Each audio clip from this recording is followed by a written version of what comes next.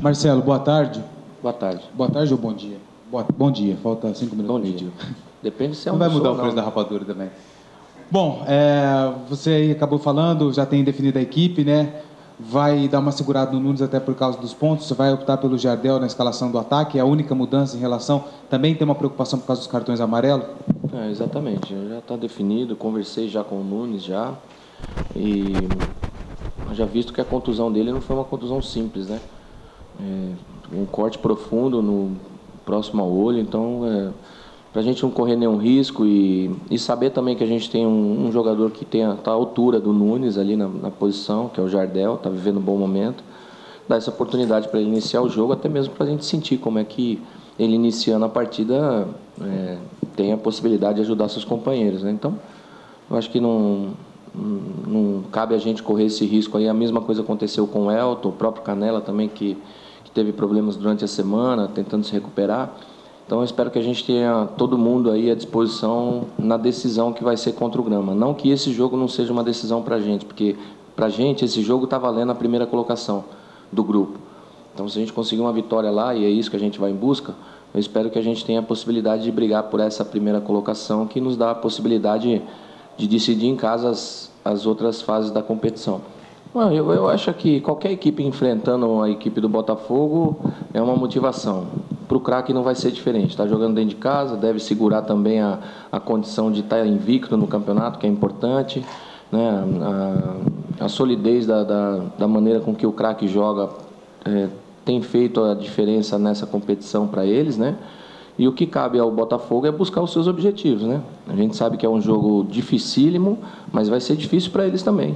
Então, espero que a gente esteja concentrado, independente de quem vai jogar ou não. Eu acho que para a gente o mais importante é a gente saber quem a gente está enfrentando e eu, acredito que o grupo saiba, porque a gente bateu muito nessa tecla durante essa semana. A gente tem que respeitar a equipe do crack, que hoje é a melhor do grupo aí na competição e, e se preparar como a gente fez durante essa semana para enfrentar uma equipe que está mantendo uma liderança invicta. Né? Então, espero que essa concentração a gente possa tirar proveito aí no final do jogo com uma vitória. Ah, a gente sabe que, independente de qualquer resultado que aconteça nesse jogo de amanhã, a decisão nossa é contra o Gama. Não tem outra alternativa. O Gama, ou ele vem aqui para buscar um empate, ou ele vem aqui para buscar a vitória. E cabe ao Botafogo saber decidir isso com competência nesse jogo com, com o craque. Então a gente não pode pensar no Gama. Eu acho que a gente não está pensando. A gente está pensando jogo a jogo. Essa decisão contra o craque é importante porque nos leva a uma primeira colocação. E é isso que a gente vai em busca. Então a gente tem um objetivo para essa partida. Mas é, desde o início da preparação, desde o início do campeonato, eu sempre disse a todos aqui na imprensa que a classificação seria decidida nas duas últimas rodadas. E hoje está se concretizando isso. Né? Espero que a gente tenha essa possibilidade de fazer esses dois últimos jogos aí com competência e buscar essa classificação. Bom, primeiro que é, eu tratei dessa forma mesmo, que não é uma revanche. Na realidade, é um segundo jogo, onde a gente teve a infelicidade de perder o primeiro dentro de casa. É, eu acho que o revanchismo passa a ser muito mais por parte do torcedor, né? que quer essa revanche a todo custo, que quer o resultado de vitória a todo custo para dar o troco, mas a, com a gente diferente, né? Um, a gente trabalhou durante a semana sabendo quem a gente vai enfrentar, as dificuldades que nós vamos ter né, e tentar impor um ritmo de jogo lá que nos favoreça a conseguir a vitória.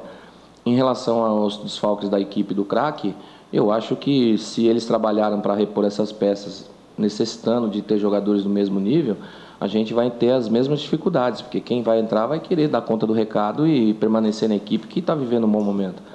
Então, acho que a gente não vai encontrar nenhuma facilidade. Eu espero que a gente tenha essa concentração né, e possa fazer um grande jogo. Como o Jardel vai entrar, como a gente está jogando contra a equipe do craque hoje, uma equipe completamente diferente do que foi aqui. Foi uma equipe que jogou aqui hoje, o Botafogo tem uma equipe diferente da que jogou aqui. Então, eles também vão encontrar uma dificuldade maior daquilo que eles viveram nesse, nesse primeiro jogo e eu espero que isso nos dê a condição de buscar o nosso objetivo. Normal. Eu acho que a gente tem que estar concentrado para não oferecer em nenhum momento a possibilidade de, de, tomar o cartão. Mas se isso acontecer, vai ser coisa do jogo. Se ele tiver que fazer um cartão para não tomar o gol, espero que ele tenha essa consciência.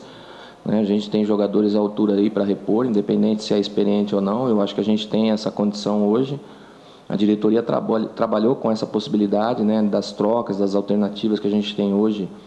E isso tem nos dado uma, uma condição legal, inclusive de reverter alguns jogos que a gente precisava do banco de reserva, a gente teve isso, né?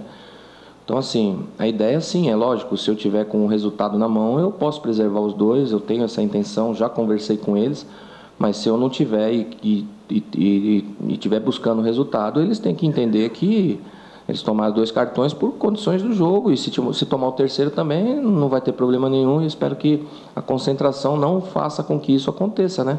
Então a, a gente torce para que, dependendo de como for o andamento da partida, eu possa ter a possibilidade de, de preservar esses dois jogadores.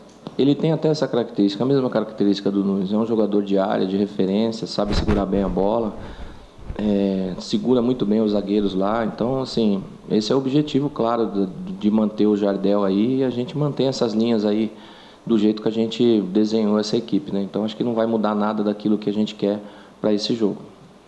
Ah, os dois, né? Eu acho que assim, uma coisa puxa a outra, né? Você mantendo o esquema e as escalações, elas acabam favorecendo você ter uma sequência boa e, e isso fortalece o grupo, dá uma, uma, uma condição diferente daquilo que a gente precisa. Mas, a, na realidade, uma, uma função aí acaba puxando a outra de uma maneira até que positiva para o grupo, porque te dá a condição de você manter aquilo que você vem treinando, aquilo que você planejou para o seu grupo e automaticamente os resultados eles acabam, acabam acontecendo até por força de, é, desse conjunto, né? Então é importante a gente manter esse conjunto aí. Eu acho que cada jogo é uma história. O mais importante é que eu confio no atleta, né? E essa confiança que a gente passa para o jogador é que vai fazer ele melhorar o seu dia a dia. Então, assim, é, quando a gente aposta num cara, trabalha esse cara para que ele possa dar o resultado que a gente precisa, é, você não pode deixar de, de acreditar. Então, a, a confiança do atleta ela começa de acordo com a, a, aquilo que a comissão técnica pede, aquilo que, que exige em relação ao trabalho dele. E o, o resto é corresponder dentro das partidas, né, para que ele possa ter a possibilidade é, de buscar o melhor junto com seus companheiros.